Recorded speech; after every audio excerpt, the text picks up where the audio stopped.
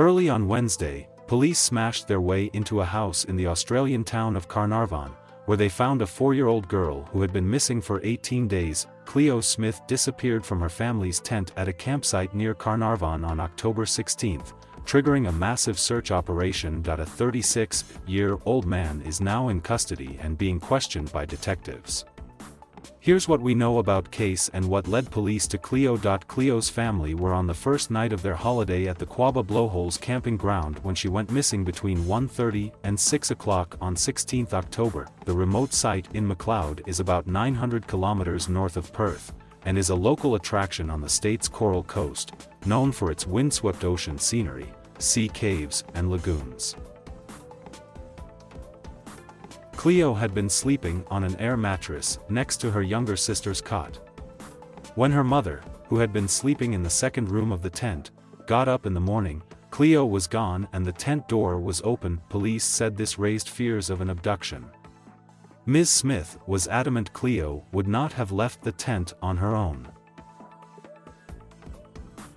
A major search operation involving a task force of more than 100 officers was launched. Western Australia Deputy Police Commissioner Col Blanch has described it as being like looking for a needle in a haystack. The search for Cleo covered land, sea, and air, with reconnaissance planes used to comb sparsely populated areas.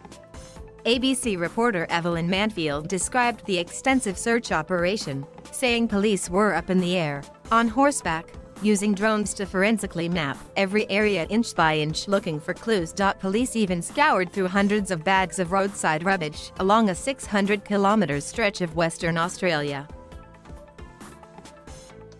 Authorities also offered a $8 1M reward for information on Cleo's whereabouts. Over the 18 days that Cleo was missing, Police said they collected thousands of pieces of evidence, intelligence, data, and witness statements. Deputy Commissioner Blanch described it as being a hard, hard slog.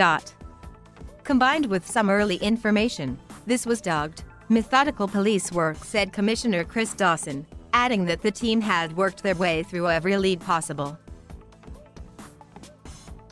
Police have not revealed the exact details of what led them to the locked house in Carnarvon, where they found Cleo alive and well. Commissioner Dawson told reporters really important information about a car helped direct police to the house, but has not elaborated on what this was. He and other officers have also stressed that a number of forensic clues were vital in finding the missing four-year-old.